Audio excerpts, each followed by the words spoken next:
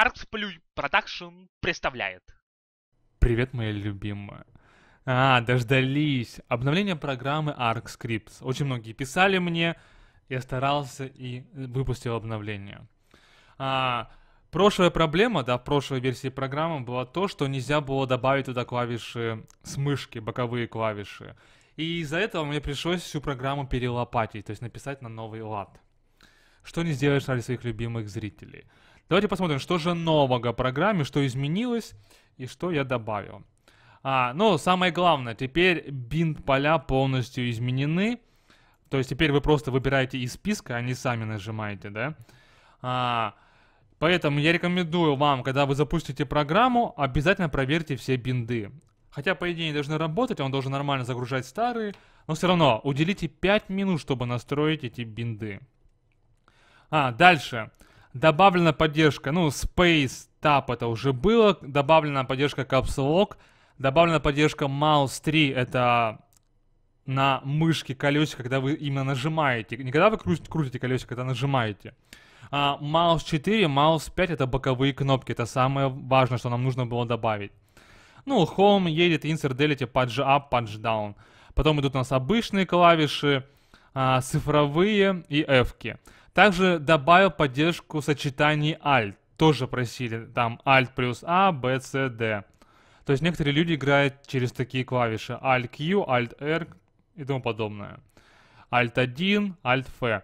Также добавлена цифровая клавиатура, которая у вас находится справа. Не у всех она есть, но у многих она есть. Keypad или Numpad. Тоже все это добавлено. Еще очень важно, друзья мои, но к этому мы уже позже подойдем. Давайте все сделаем по списку. Я же не зря поставил список. Само собой, это весь список обновлений, он будет как в группе ВКонтакте, так и на сайте. То есть, когда у вас появляется окно типа «Вышло новое обновление», нажимаете, там можно прочитать все изменения. А, увеличенное время проверки обновлений с 6 до 12 секунд. Для вас это, в принципе, ничего не значит. Это сделано для того, чтобы... То есть, вы запускаете программу, там делаете, что хотите, проходит 12 секунд, она проверяет обновление, есть ли новое или нет. Это сделано, чтобы быстрее был запуск программы, чтобы так разгрузить начальный этап.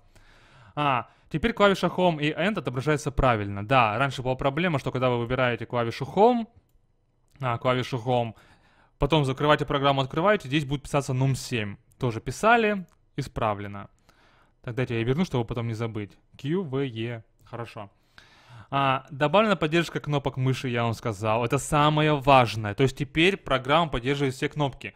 И смотрите, да, если я что-то упустил, если какое-то сочетание не добавил, какие-то кнопочки, всегда можете написать в это место, отправить отзыв. Пишите, я читаю, добавляю еще какие-то кнопки, что мы пропустили.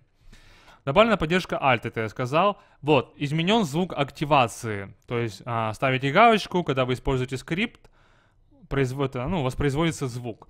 Раньше был звук типа или утка, или гусь крякает, да?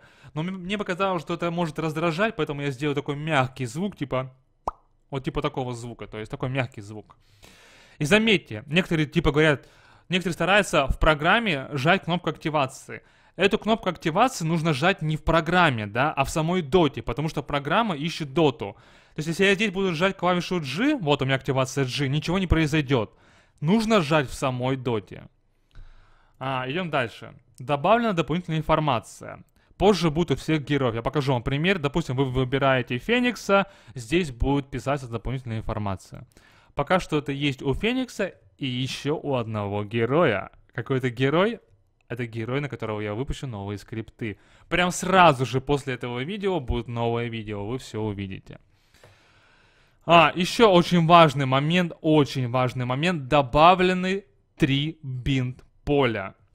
Эти бинт поля добавлены в первую очередь для таких героев, как Мипа. То есть у героев, которых там есть больше одного юнита, где надо переключаться. Это очень важно, тоже настройте эти поля. То есть поле следующий юнит, выбрать всех и выбрать других. А, все, я вам показал обновление, и сейчас я покажу эти поля в самой доте, чтобы вы знали, откуда брать данные, откуда брать кнопки, да? То есть все, здесь мы все с вами рассмотрели, все хорошо. Все, все идеально. Теперь я запускаю доту, нам нужно три поля. Следующий юнит, выбрать всех, выбрать других. Все, открыта Dota, заходите в настройки, управления, да, а, выбрать всех своих юнитов. Это выбрать всех. Ставим сюда нужную клавишу, потом ставим в программе. Следующий юнит тоже нам нужно. Ставим здесь клавишу, ставим в программе. И вот, переходим расширенные настройки. А, вот, выбрать всех прочих юнитов. Тоже ставим здесь клавишу и ставим в программе. Это три поля, которые нужны для таких героев, как Мипо. Потом это будет Аркварден и тому подобное. Все, друзья мои, не забывайте отсылать отзыв, я вам показал, куда нажимать. И пишите комментарии, что хотите увидеть нового в программе. Само собой, скрипты я буду выпускать. Буду стараться выпускать или через день, или раз в три дня. И сразу же после этого видео новый скрипт. Кстати, да, хотел сказать. Если у вас программа автоматом не обновилась, такое, там была проблема, у кого там русские буквы были в пути, да, просто под этим видео будет ссылка, скачиваете заново, а ту программу удаляете. И все идеально у вас будет.